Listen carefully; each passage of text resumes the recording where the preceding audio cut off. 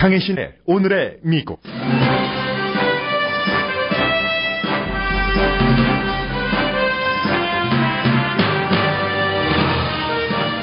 힐러리 클린턴과 도널드 트럼프 후보가 같은 사회자와 외교 정책에 관해 따로따로 30분씩 인터뷰했습니다. 클린턴 후보는 트럼프 후보가 도저히 대통령에 적합하지 않다고 주장했고 트럼프 후보는 블라디미르 푸틴 러시아 대통령이 버락 오바마 미국 대통령보다 유능하다고 말했습니다. 영국 BBC 방송이 선거 해킹을 포함해 미국 대선을 뒤흔들 수 있는 시나리오를 전했습니다. 버락 오바마 대통령이 첫 이슬람교 신자 연방 판사를 지명했지만 문제는 상원에서 그를 승인하느냐입니다. 어제 여자 축구 경기가 열린 워싱턴 축구장에서는 선수들이 구장에 나오기 전에 국가가 울려 퍼졌습니다. 국가가 울려 퍼질 때 선수가 시위하는 것을 막기 위해서였습니다. NFL 커미셔너는 인종차별에 대한 시위로 국가가 연주될 때 일어서지 않는 샌프란시스코 49ers 쿼터백의 행위에 동의하지 않지만 그의 시위할 권리는 존중한다고 말했습니다.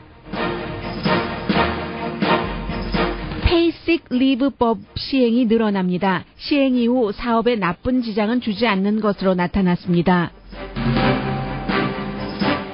총을 차고 다니는 여성을 위한 패션 마켓도 늘어납니다.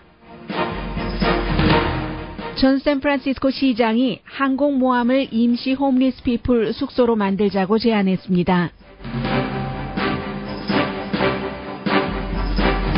여러분 안녕하십니까? 오늘의 미국 강혜신입니다. 로스앤젤레스 주변에서 뭐 로스앤젤레스뿐만이 아니네요. 정말 미국의 뭐 항구가 모든 곳에 도시에 다 있는 게 아니기 때문에 이렇게 바다와 접한 로스앤젤레스 쪽에서 물건이 만약에 예를 들어서 뭐 텍사스의 어느 지역에서 방송을 듣고 계신다던가 루이지아나에서 뭐, 뭐 가발에 관련된 여러 가지를 한국에서부터 받으셔야지 되는 그런 분들께서는 지금 그 한지인 문제가 굉장히 여러분들의 생업과 연관이 되기 때문에 number one, two, three 이슈가 될 겁니다. 오늘 아침에 그 로스앤젤레스 타임즈가 비즈니스 면에 자그마하게 보도한 것을 보니까 그 모든 내용은 뭐 지금까지 다 알려졌었던 것이고 여러분들이 아시 하시는 내용인데 한 가지가 지금 롱비치 항구에서는 한진의 그 배에 실려 있는 컨테이너의 물건들이 이제 그 하역될 수 있다. 다 이제 그 뭐 원래 약속됐던 그런 그, 그 retail 업소들에게도 돌아갈 수 있다는 그런 얘기겠죠. 하역 작업이 결국은 이번 주말에 롱비치 항에서는 어, 시작이 될 수 있다 하는 내용을 보도를 했고 지금 뭐 한진해운이 세계 그 43. 3개국에 파산 신청을 했잖아요. 한국 정부가 주도를 해서 외국 정부에서 그 배에 그 물건들을 압류하는 것을 막기 위해서 이제 뭐 캐나다라든가 독일, 영국, 미국을 포함해서인데 파산 보호 신청은 한국 밖에서는 미국에서 제일 먼저 했고요. 그래서 이제 내일 구체적으로 어떻게 될 것인가 하는 청문회가 열리기 때문에 아마 그 청문회에서도 신속하게 결정을 할 모양이죠. 그러니까 주말에는 이 한진 그 배에 실려 있는 컨테이너가 이제 그 하역 작업을 해서 오픈돼서 물건이 원래 그 주문했었던 사람에게 돌아갈 수 있다는 내용이 오늘 어, 비즈니스면 LA 타임즈에 실렸으니까 조금 어, 조마조마하셨던 마음 어차피 여러분들께서 조마조마하신다고 결정될 문제는 아니잖아요. 이제 어, 목요일이고 금요일 얼마 남지 않았으니까 희망을 갖고 기대를 하셔도 좋을 것 같습니다. 그리고 이제 미국과 세계의 전반적인 공통 이슈는 역시 아, 도대체 어떻게 될까 아무도 모르니까요. 전문가들도 어제 그 힐러리 클린턴 후보와 도널드 트럼프 후보가 MBC 방송의 아침 뉴스 진행자가 이상하게 그 사회를 봤어요. MBC 방송에 뭐 hard news를 많이 다루는 그리고 이제 주말 뉴스 시사 프로그램을 다루는 그런 그 뭐 유능하다고 평가를 받는 진행자들도 있는데 검증된 그 분야에 있어서 어제 이제 NBC 방송의 Today Show에 그 맷 로어가 사회를 보고 30분 30분 토론 형식이 아니라 따로 있는데 정말로 중요한 유권자 앞에서 외교 정책에 관한 특히 이제 국방 정책을 중심으로 해서 자신들의 의견을 밝혔습니다. 그 중요한 사람이라는 그룹이 어, 군인 전 전직 군인들 이런 그 베테랑스 앞에서 얘기를 했는데 한마디로 뭐 다 전해드리지는 않겠습니다. 어차피 지금 뭐 청사진을 그리는 것이고 또 유권자가 무슨 말을 듣기를 좋아할까 어떤 말을 이 순간에 해야지 상대보다 내가 점수가 올라가고 상대의 점수가 동시에 깎일까 이런 것을 고려하고 하는 발언이기 때문에 완벽하게 움직이지 않는 정책이라고 보긴 힘듭니다. 다만 지금 제가 말씀드릴 수 있는 것은 아 움직이지 않는 원칙과도 같은 그런 그 큰 줄기라고 할까요? 힐러리 클린턴 후보는 이라크와 시리아에 다시 그 미국 군대를 보내지 않겠다고 했습니다. 본인이 이제 그 이라크 전쟁에 대해선 상원 의원으로서 찬성을 했었고 그것은 실수였었다라고 뭐 시인도 했었고요. 어, 그리고 이제 그 도널드 트럼프 후보는 여러 가지 기질이나 뭐로 볼때 뭐 트럼프 후보가 여태까지 얘기했었던 것을 뭐 중요한 것들 지적을 하면서 절대로 대통령이 되기에 적합하지 않은 사람이다라고 얘기를 했고 도널드 트럼프 후보는 아니 힐러리 클린턴 후보가 이라크 전쟁도 참 찬성을 했었고 그 판단력이요 지금까지 해왔던 기록을 강조하는데 그 기록이 잘못됐었다고 비난을 하면서 그러면 이제 본인의 그 정책을 얘기를 해야 되는데 정책 분야에 대해서는 조금 모호했습니다. 물론 어제 오늘의 미국 시 간에 잠시 말씀드렸던 대로 이제 이 인터뷰 전에 필라델피아에서 먼저 뭐 국방비를 증강시키고 뭐 이런 강 했잖아요. 본인이 대통령이 되면은 아이시스를 대통령이 되고 나서 30일 안에 어떻게 잡을 것인가를 촥 여러분들께 보여드리겠다 이렇게 호언장담을 했는데 디테일에는 항상 그 부족한 사람이 도널드 트럼프고요. 그런데 중요한 것은요.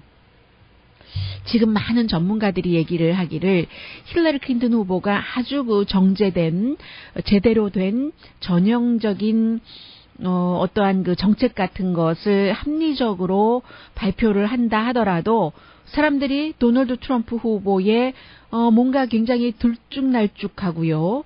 어, 믿을만하지 못하고 그러나 뭔 좀 선동적인 이런 것들이 오히려 더 사람들 마음속에 귀 속에 파고 들어간다고 생각하고 있는 전문가들이 많이 있거든요. 그래서 이제 9월 26일부터 시작돼서 10월 말에 끝날 세 번의 그 토론회에서도 그런 것들이 계속 그 유권자들에게 파고들지 않을까 이렇게 생각하는 사람이 있는데 도널드 트럼프가 어제 30분 동안 인터뷰했었던 것 가운데 하이라이트는 미국에서뿐만이 아니라 영국에서도 블라디미르 푸틴 러시아 대통령이 버락 오바마 대통령보다 훨씬 유능하다 이렇게 얘기한 부분이었습니다. 제가 녹음까지 다 했는데 들려드릴 필요는 없을 것 같습니다. 어쨌든 그런 얘기를 했어요. 이것은 이제 미국에서는 아직까지 아무리 자유 기반이고 대통령과 내, 가 동격이라고 생각하고 이러한 것들이 이제 미국의 근원이고 흐름이고 물결이고 색깔이다 할지라도 최근에 그 러시아의 다른 나라를 침공하는 것이라든가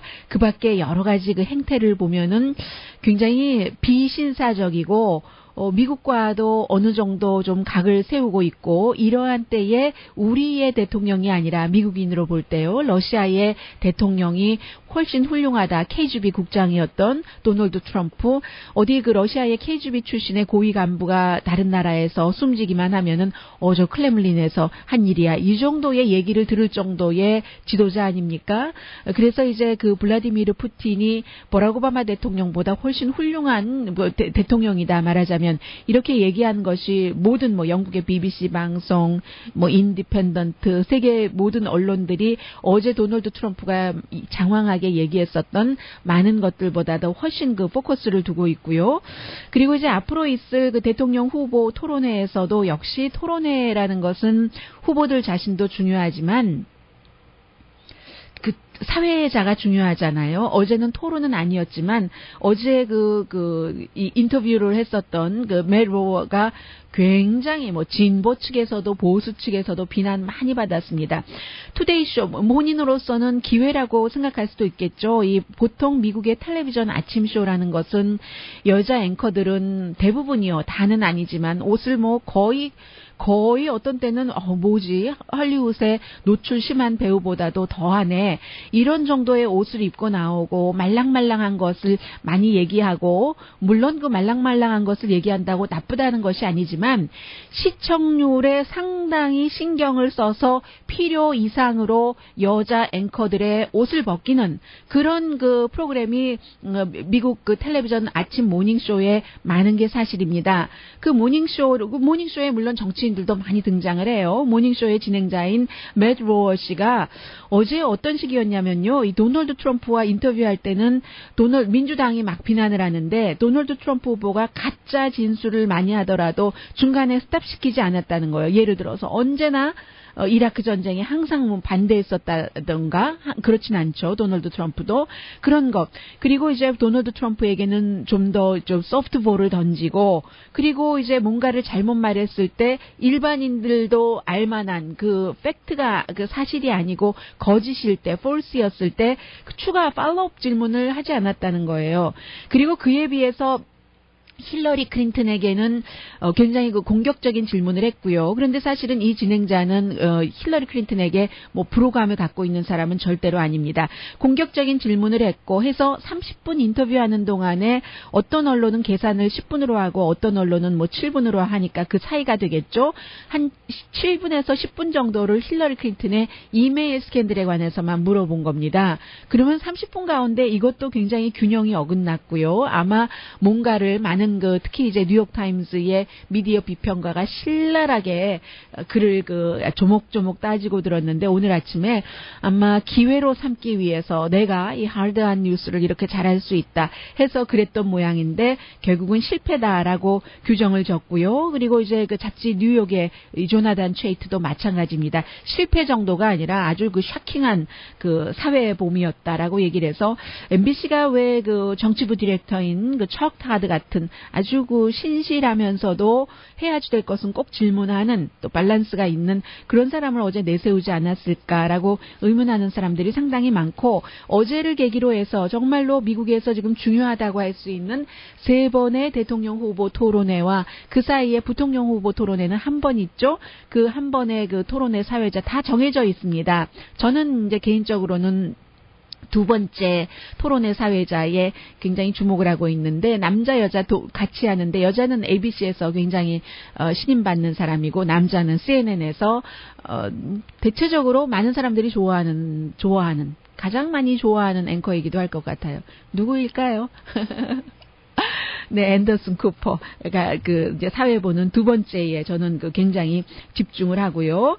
그래서 이제 어제의 그런 그, 그 외교 정책에 대해서는 별로 이슈보다는 사람들이 그 분위기가 이렇다 저렇다 생각을 하게 되는데 힐러리 클린턴이 보청기는 아니었 아닌 것 같은데 보청기 비슷한 것을 귀에 꼽고 나왔거든요. 그래서 이제 아주 그 보수적인 언론에서는 저건 뭐지? 뭐 컨닝한 거 아니야? 뭐, 뭐 컨닝이다마다 그런 것은 없어요. 사실은 그뭐 지금 예를 들면 어떤 거냐면 제가 보기에는 꼭 어, 금 작은 그 귀고리를 했는데 그 귀 안쪽에 귀고리를 귀고리를 마치 그 귀 귀 구멍이요 그 속에 넣은 것과 같은 진주와 같은 그런 느낌을 받았거든요. 동그란 진주가 아니라 매끈한 것이 아니라 좀 울퉁불퉁한 그런 것을 받았는데 지금 보수 언론에서는 아니 저 이어피스가 뭐지? 아마 힐러리 클린턴이 뭔가를 잘못 말할 때 누가 옆에서 얘기해 주는 거 아니야? 지금 뭐 브로드웨이의 주연 배우들은 그런 거 다 꼽고 하잖아요. 그런데 이제 살색이기 때문에 사람들이 또이 텔레비전처럼 카메라가 클로즈업을 하는 게 아니니까 거의 못 보는데 만약에 이제 연기하다가 배우들은 직접 무대에서 항상 라이브니까 대사를 잊어먹는 경우가 있지 않겠어요? 그럴 경우 이제 대사를 누가 옆에서 불러준다든가 아니면 감독이 정말 참지 못하고 가만히 내버려 두지 못하고 배우에게 특별한 것을 연기하고 있는 동안에 이제 지적할 때 그런 때를 위해서 earpiece를 끼고 있는데 경찰들도 마찬가지고요. 어떠한 업무를 위해서 어제 힐러리 클린턴이 이런 그 earpiece를 낀 것을 보수 언론은 많이 얘기를 하고 있습니다. 있습니다. 그래서 어떤 사람들은 보청기 아니야? 나이도 그 많이 들었으니까 라고 얘기를 하고 있는데 사실은 힐러리 클린턴 후보가 이 같은 그 earpiece를 낀 것은 처음이 아니에요. 지난해에 10월 달에 벵가지 청문회 할 때도 earpiece를 꼈었고 불법은 아닙니다만 그만큼 뭐 어제의 그 인터뷰가 뭐 크게 사람들을 확 잡을 만한 이 이슈가 있었던 것이 아니고 또 항상 지금은 뭐 이슈가 그 포커스를 받는 지금쯤이면 그래야 되고도 남는 시점인데 그래서 힐러리 클린턴의 그 하얀색 earpiece가 주목받았습니다. 오늘 아침에도 힐러리 클린턴이 이제 힐러리 클린턴닷컴이라고는 써 있지만 그 전용기 앞에서 딱 그 기자들에게 얘기를 하는데 도널드 트럼프가 대통령이 돼서는 안 된다 하는 뭐 그런 얘기를 그 했습니다. 그래서 이제 계속 좀 전에 제가 좀 들려드리려고 했는데 화면이 바뀌었네요. 그리고 미국 밖에서 보는 지금 그 미국의 선거에 대해서 오늘 잠시 좀 그 스쳐 지나가겠는데 BBC 방송이 미국 선거에서 어 힐러리 클린턴 후보가 지금 그 대부분의 언론에서 그 선거인단 숫자를 계산을 해보면 현재로서는 확실하게 이기는 적어도 작게는 60 몇 퍼센트에서 많게는 80 몇 퍼센트까지 힐러리 클린턴 후보의 차기 그 대통령 당선을 예상을 하고 있잖아요. 전문가들이. 이럴 때 이제 BBC 방송이 힐러리 클린턴에게 선거의 악몽과도 같은 시나리오들을 얘기를 하고 있습니다. 예를 들면은 후보들 자신보다는 역시 예상하지 못했던 이벤트들이 여기저기서 터지는 것을 얘기하죠. 예를 들면은 두 달밖에 남지는 않았습니다만은 재정적으로 뭔가가 그 몰락한다던가 그리고 테러 공격이 미국 땅에서는 아직 그, 그 그런 대규모 마리에라든가 터키에서 일어난 것들이 없었잖아요. 미국 땅에서 테러 공격이 일어난다던가 그리고 아니면 이런 것은 이제 도널드 트럼프 후보에게 훨씬 유리한 게 되겠고 자연재해도 있을 수 있잖아요. 자연재해는 이럴 수도 있고 저럴 수도 있어요. 그 어떻게 활용하느냐에 따라서 허리케인 샌디가 발생했었을 때 버락 오바마 대통령이 재선 치르기 전이었는데 그때 그 뉴저지 주였기 때문에 공화당인 크리스 크리스티 뉴저지 주지사와 함께 헬기에 타고 돌아보고 하면서 점수 많이 받았잖아요. 그에 비해서 그 전에 이 허리케인 그 카트리나의 경우는 공화당 그 조지 부시 대통령이 굉장히 그때 휴가 중이었었는데 빨리 중단하고 루이지아나주로 가서 사람들을 다독거리고 이랬어야 할 때는데 아니 뭐뭐 뭐 먹을 게 없다 그러면 뭐 빵 먹으면 되잖아 뭐 이런 식으로 얘기하고 은, 금수저 은수저 물고 그 자라난 엘리트 집안에서 자라난 정치인다운 얘기만 하고 시간 버리다가 굉장히 이 카트리나에 대한 대응이 이 조지 부시 대통령에게는 아킬러스건이 되고 말았잖아요. 만약에 베버리 힐스에서 그런 일이 일어났었으면 어떻게 했을까? 갔을 것이다. 라고 이 얘기를 이제 지금 얼마나 오랜 세월이 흘렀는데도 계속 하고 있기 때문에 자연재해가 일어났을 때는 이제 후보들에게 어떻게 하느냐. 그리고 힐러리 클린턴에게 좋을 수도 있어요. 어떤 면에서는 정부가 현 정부가 힐러리 클린턴의 당인 민주당이 힐러리 클린턴을 지지하는 버락 오바마 대통령이 힐러리 클린턴과 같이 현장에 등장할 수도 있는 것 아니겠어요? 이런 것들이요. 그리고 이제 또 중요한 것이 이것은 분명히 있기 는 있는데 강도가 어느 정도냐이죠. October surprise 어느 나라나 다 그 대선 전에 있을 수 있는 일인데 여기서 힐러리 클린턴의 이메일이라든지 여러 가지에 대해서 완전하게 확실하고 확고한 증거들이 나온다면 이게 이제 어제 줄리안 아산지가 다음 주부터 이제 좀 터트리겠다 하는 것이잖아요. FBI가 천, 만 칠천 개의 새로운 이메일을 지금 내놨고 공화당 민주당에서 다 지금 검토를 하고 있고 하는 그런 것들이요. 그리고 또 그 뭐가 있을까요? 어 음, 아, 또 이런 것들도 지적을 했네요. BBC 방송이. 도널드 트럼프 후보를 지지하는 사람들이 그를 지지한다고 아직도 분명하게 얘기하지 않는다는 겁니다. 속으로만 가만히 지지해. 왠지 도널드 트럼프라는 사람을 지지하는 것이 내가 품위 없는 사람 같아서 뭐 그런 뜻이라는 거예요. 그, 그런 의미가 좀 있기 때문에 트럼프의 여러 가지 그 행실로 볼 때 그렇다는 거예요. 그래서 이제 사람들이 숨기고 있는데 사실은 그보다 그의 그 지지 층이 훨씬 훨씬 많을 수도 있다는 것이요. 이것을 그 영국 언론이기 때문에 어디에 비유를 했느냐면 1992년도에 영국 총리 선거에서 존 메이저 여론조사 결과를 보면은 그가 그 총리가 될 수 없었던 인물입니다. 그런데 나중에 결과를 보니까 총리가 된 거예요. 사람들이 여론조사에서 이 사람을 지지한다고 답변하지 않았었던 거죠. 그런 것들이요. 아니면 우리가 최근에 겪었었던 그 영국의 그 선거요, 투표요. 이 영국이 유럽 연합에서 탈퇴한다. 블랙시트 보트에 대해서 여론조사에서는 항상 이럴 수도 있고 저럴 수도 있고 뭐 거의 나중에는 또 한 사람 이 유럽 연합에서 탈퇴하면 안 된다고 주장했었던 정치인이 정말로 허망하게 억울하게 이렇게 그 숨졌기 때문에 그 사람에 대한 동종표까지 있어서 이 유럽 연합 탈퇴가 안 될 수도 있겠다라고 생각을 했는데 나중에 뚜껑을 열어보니까 안전하게 유럽연합에서 탈퇴하는 쪽으로 갔잖아요. 이런 것들. 그리고 이제 또 이런, 이 문제는 이번이 그 거의 처음 같아 보이는데 선거 해커라고 해서 힐러리 클린턴이 요즘 많이 얘기하고 있는 것이잖아요. 러시아 해커가 미국의 선거 그 투표 과정을 아주 그 어수선하게 해서 도널드 트럼프를 돕기 위해서 그럴 것이다 하는 이러한 그 여러 가지가 지금 BBC 방송이 본 힐러리 클린턴에게 나쁜 시나리오가 되겠고요. 그런데 이제 가장 중요한 것은 이제 그 토론이라고 할 수 있는데 토론도 음, 누가 어떻게 하느냐에 따라 다르지만 도널드 트럼프가 기대 수준이 사람들이 낮기 때문에 더 그 플러스가 될 수도 있고 아니면 힐러리 클린턴이 너무 그 연설이나 이런 것을 뭐 준비된 연설이라도 읽는 것이라도 많이 해봤기 때문에 머릿속에 입력된 것이 얼마나 많겠어요. 그냥 저절로 술술 나오는 말만도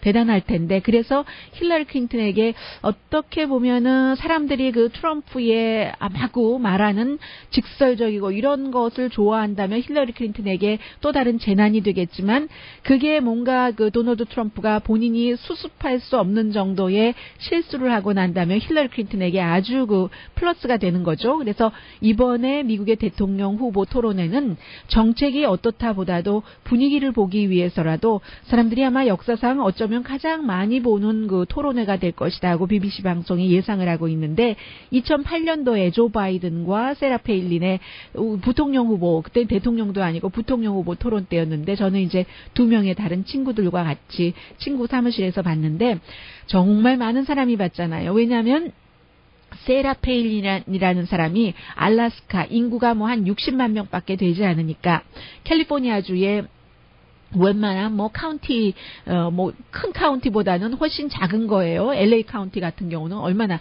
천만 명 정도 되잖아요. 그런데 인구 알라스카 합쳐서 60만 명인 그 주의 주지사였는데 주지사를 이제 존 맥케인 후보가 깜짝 뭔가를 surprise 시켜야지 된다고 pick했잖아요. 그리고 나서 조 바이든이랑 이렇게 그 대결을 하게 됐으니까 조 바이든 부통령 후보도 또 말실수도 많은 사람이고요. 해서 사람들이 굉장히 지켜봤습니다. 이번이 그럴 것이라는 거죠. 역사상으로는 한 8천만 명이 그 당시 인구 인구와 지금 인구를 비교해 보자면 어마어마한 숫자네요. 1980년도에 로널드 레이건, 지미 카터, 그리고 그 당시에 이제 무소속이었던 그 퍼센테이지를 많이 받았는가 보죠. 존 앤더슨 세 사람이 토론하는 것을 사람들이 가장 그 많이 그 봤다고 하고요. 가장 중요하다고도 볼 수 있는 것은 도널드 트럼프 후보가 아무리 좀 준비가 덜 됐고 디테일에 약하다 할지라도 아주 그 지지율이 약한 후보는 후보 토론회에 참석하지 못했지만 참여하지 못했지만 11명의 다른 그 뭐 정치 베테랑들을 토론에서 누르고 이긴 사람이 도널드 트럼프 후보잖아요. 아웃사이더지만 그래서 이제 굉장히 지금 그 토론이 결국은 뭐 주목을 받고 있고 어 이런 얘기를 하고 있네요. BBC 방송은 존 케이식 그 오하이오 주지사의 선거 그 전략가가 뭐라고 얘기를 했냐면 그 존 위버라는 사람인데 이 사람이 그 공화당의 예비 선거 토론을 정말로 그 술 취한 한 명의 운전자가 자동차 경주를 해서 이긴 것과 같다라고 표현을 했는데 BBC 방송은 이번에 이제 시작이 될 도널드 트럼프 후보와 힐러리 클린턴 후보의 토론회를 그 마이크 타이슨의 그 마지막 그, 그 boxing match로 보고 있답니다. 그, 그렇게 설명을 했어요. 그래서 힐러리 클린턴이 어떻게 보면은 도널드 트럼프에 대해서 링 위에서 어, 안심, 내가 이길 것이다 하는 안심을 할 수도 있지만 두고 봐야지 한다는 거죠. 이 마이크 타이슨의 그 마지막 그, 그 마지막 그 매치 여러분들 기억하세요?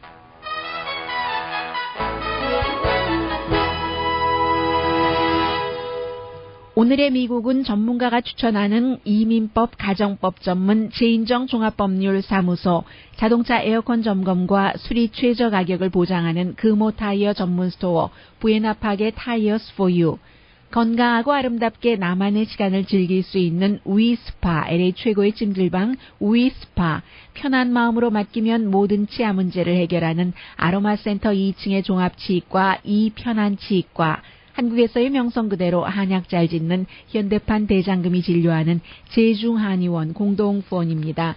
잠시 뒤에는 음, 네, 뭐 최초의 그 모슬림 어, 연방 판사 지명자가 나왔다, 역사다 하는데 역사가 역사로 어, 아 까지 딱 점을 찍으려면은 연방 상원에서 인준을 해야지 되잖아요. 그게 그렇게 쉽지는 않아 보이거든요. 그리고 샌프란시스코 그 49너스의 쿼러백에 국가가 연주될 때 시위하고 가만히 그 무릎 꿇고 땅에 앉아 있는 것 이게 이제 다른 선수들에게도 계속 이어지고 있고 어, 이러한 것에 대해서 의견은 또 그 엇갈리는 것뭐 음, 여전합니다. 잠시 뒤에 전합니다.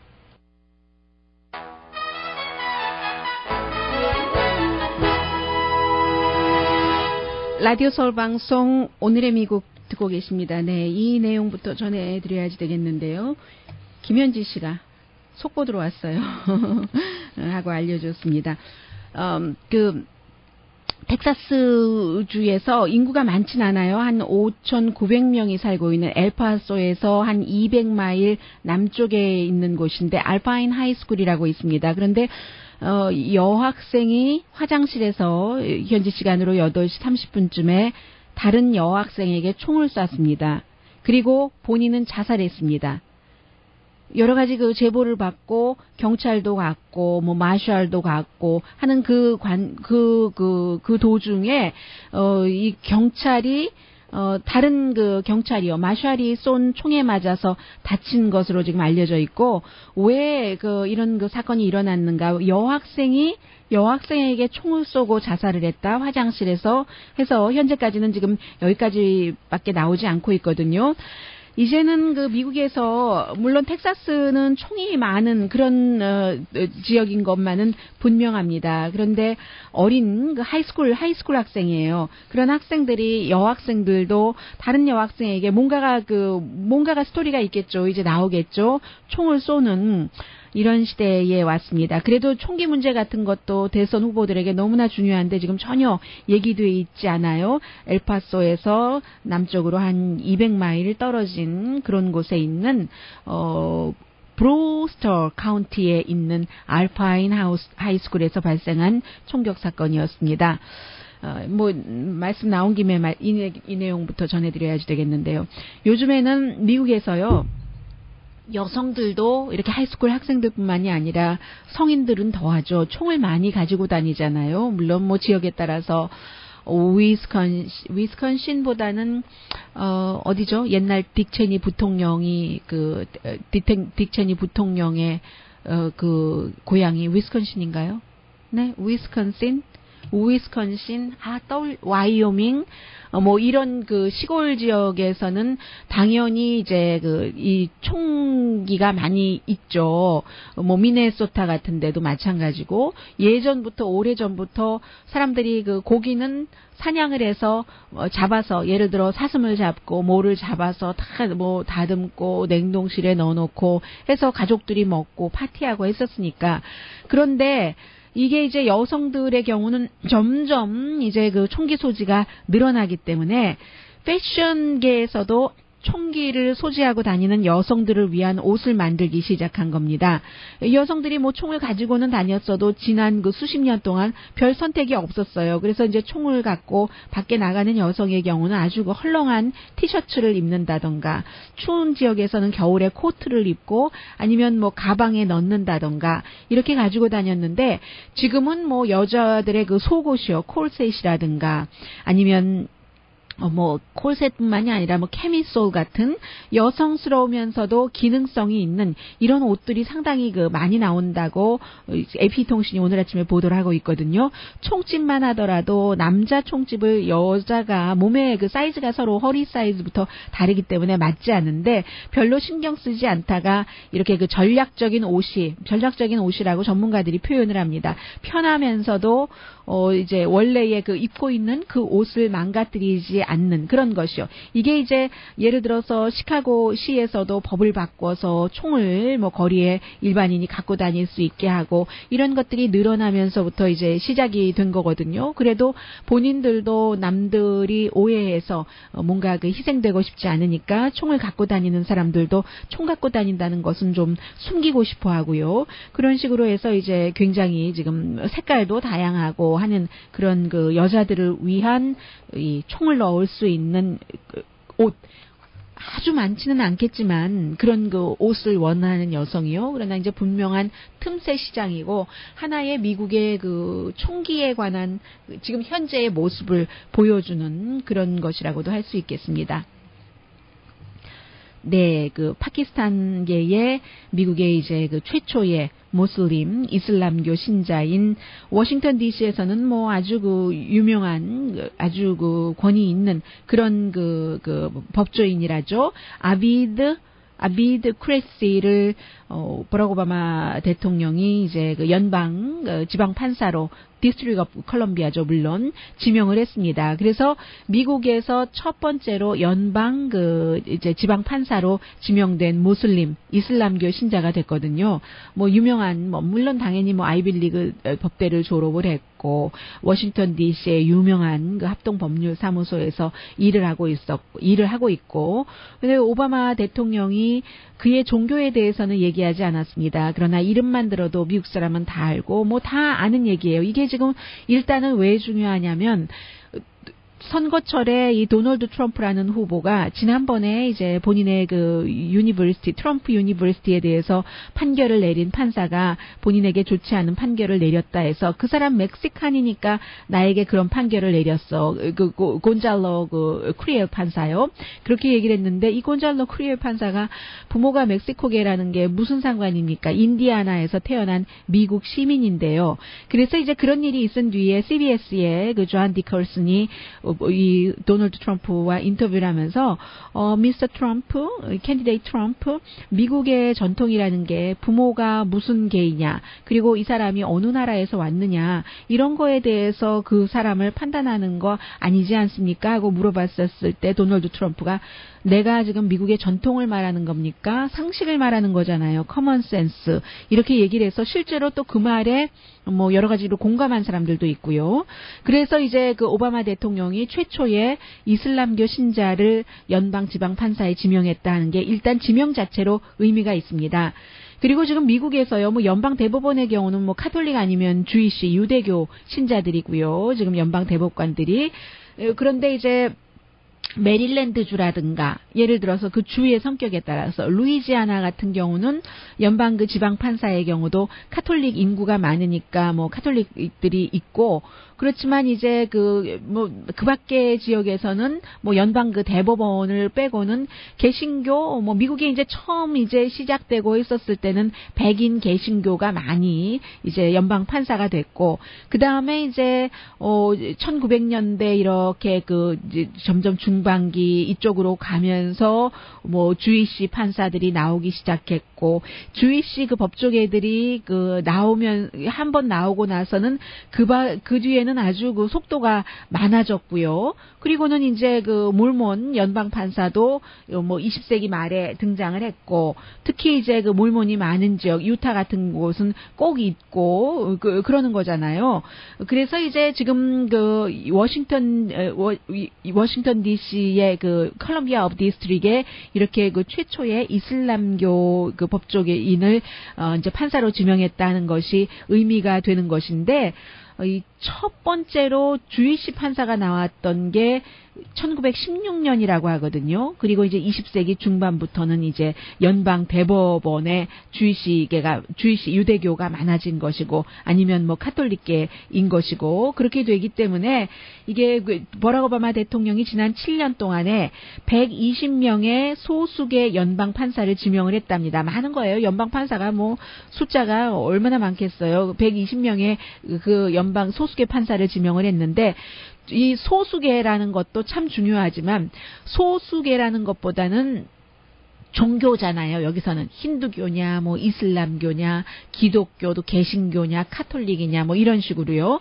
그래서 오히려 그 소수계보다도 그 법조계에서는 그 대통령이 지명하는 그런 범위 안에서는 종교가 훨씬 더 그 뒤따라가는 거죠. 이번에 어, 만약에 그 아비드 그 어, 크레시 지명자를 연방 상원에서 인준 청문회를 통과시킨다면은 최초의 이슬람교 이제 연방 그 지방 판사가 되는 것인데 공화당의 그 상원 의원들이 당연히 막으려고 할 테고요. 선거 전에 청문회를 시작하지 않는다면 그러면 어 11월 그 이후 선거 이후에 11월부터 1월까지는 뭐 그때 그때 뭐 추수감사절도 있고 뭐 hol, holiday 많잖아요. New Year's Day도 있고 크리스마스도 있고 하는데 불과 얼마 되지 않는 기간 오바마 대통령은 1월 20일이면 떠나야지 되는데 그 사이에 인준청문회를 할 수 있을까? 어, 많은 사람들이 회의적으로 보는 거죠. 그래서 오바마 대통령의 지명 자체에 오히려 그 의미를 두는 것처럼 느껴지기도 합니다. 잠시 뒤에 네, 무엇을 전해드릴까요? 아, 뭐 캘리포니아주 저희 회사도 그, 그, 그 pay, paid sick leave 아프거나 본인이 예방의학도 포함이 되고요. 가족들이 아프고 할 때 이제 회사에 통고하고 돈 받고 회사 쉴 수 있는 paid sick leave가 있는데 뉴욕이 이제 캘리포니아주보다는 인구가 더 많으니까요. 뉴욕도 이것을 시행을 했는데 사람들이 얘기하는 것처럼 그렇게 그 나쁘지 않더라 하는 그 연구 결과 나왔고요. 그리고 국가가 울려 퍼질 때는 항상 사람들은 일어섰어야지만 됐다. 경의를 표시했어야지만 됐다. 된다. 이게 과거와 현재 진행형인데 어, 왜 이렇게 하지 않는 것에 대한 의견도 그 만만치 않게 반반 정도로 엇갈릴 수도 있는 것 같아요. 잠시 뒤에 뵙겠습니다.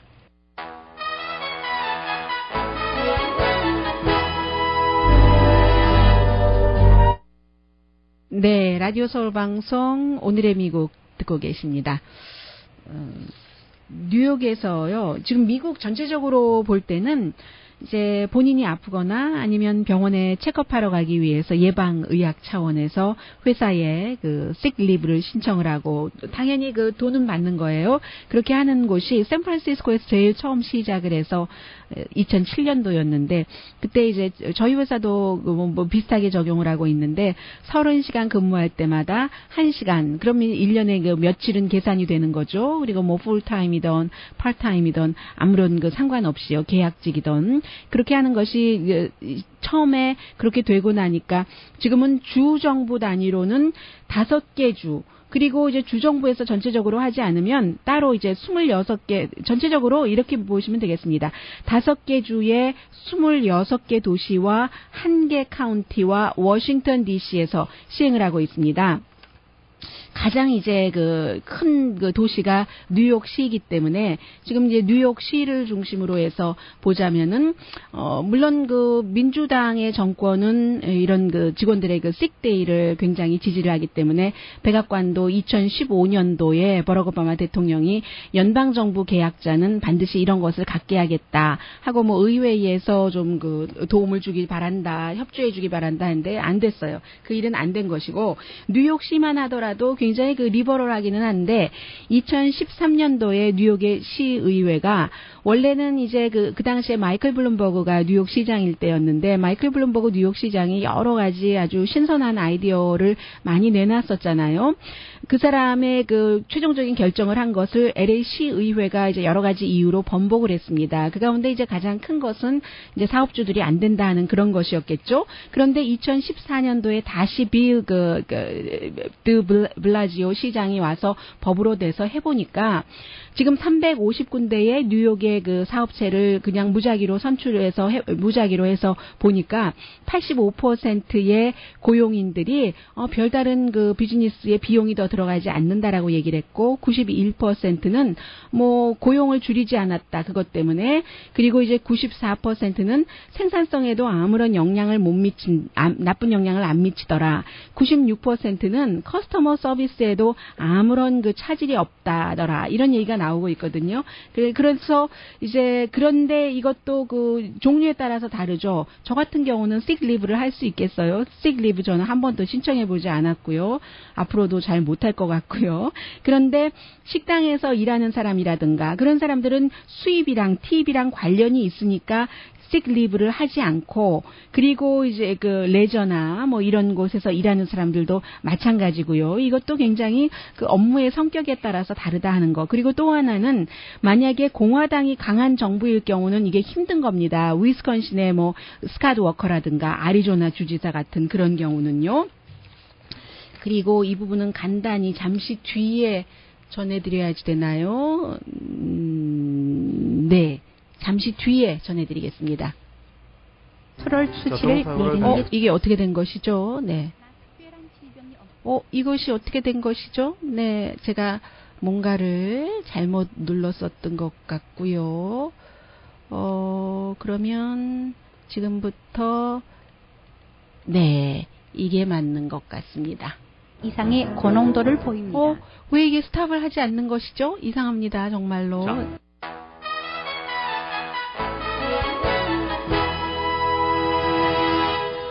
라디오 서울 방송 오늘의 미국 듣고 계십니다. 어제 그 워싱턴 주에서요 시애틀 레인과 여자 축구 선수예요. 그, 그 워싱턴 그 스피릿이 같이 경기를 하는데 경기하기 전에 항상 그 국가가 나오잖아요. 그런데 경기장에 그 국가가 나온 게 선수들이 구장에 나오기 전에 국가를 울려 퍼지게 했는데 그게 왜 그랬냐면 워싱턴 그 스피릿의 구단주가 전에 코치이기도 했고 그리고 이제 그 뭐죠 군대에서 아무튼 일했었던 사람이에요. 군 출신이에요. 그래서 시애틀 레인의 미국의 그 스타 그 선수요 미드필더죠. 이 그 메간 라피노가 국가가 나올 때 시위할까봐 가만히 앉아 있을까봐 서 있지 않고 그 모습이 보기 싫어서 말하자면 샌프란시스코 49ers의 쿼터백 콜린 그 캐퍼닉처럼 어, 뭐 경찰이 소수 인종에게 잘못 대한다 미국의 인종 차별이 있으니까 사람들이 인식해야지 된다 이런 것에 동조하기 위해서 그럴까봐 아예 이렇게 했다는 얘기고요. 그리고 그 코로백의 행위에 대해서는 NFL의 그 커미셔너 로저 그때는 그의 그 선택에 동의하지는 않지만 그래도 어떠한 그 스타 플레이어로서 사회에서 변하기를 원하는 것에 대해서 본인의 뜻을 어, 밝힐 수 있는 권리는 인정을 한다. 우리는 그 완전한 사회에 살고 있지 않다 하는 그런 얘기 정도는 또 했습니다. 오늘의 미국은 전문가가 추천하는 이민법, 가정법 전문 제인정 종합법률 사무소, 자동차 에어컨 점검과 수리 최저 가격을 보장하는 금호 타이어 전문 스토어 부에나팍의 타이어스 포유, 건강하고 아름답게 나만의 시간을 즐길 수 있는 위스파, LA 최고의 찜질방 위스파, 편한 마음으로 맡기면 모든 치아 문제를 해결하는 아로마 센터 2층의 종합치과 이편한 치과, 한국에서의 명성 그대로 한약 잘 짓는 현대판 대장금이 진료하는 제중한의원 공동폰이었습니다. 10시에 좋은 아침, 좋은 하루 방송됩니다. 네, 샌프란시스코 전 시장이 샌프란시스코에 지금 그 USS 그 함대예요. 펠레 펠렐리우라는 그러니까 쉬고 있는 함대가 항공모함이 있는 겁니다. 얼마나 샌프란시스코도 이 홈리스 피플에 관한 문제가 심각하면 그곳을 임시 homeless people 숙소로 쓰자고 현 시장에게 제안을 했거든요. 현 시장은 뭐 아직까지 답변은 하고 있지는 않습니다만 그 정도로 남에서 북까지 샌, 아, 캘리포니아 homeless people 문제 심각합니다. 강혜신이었습니다.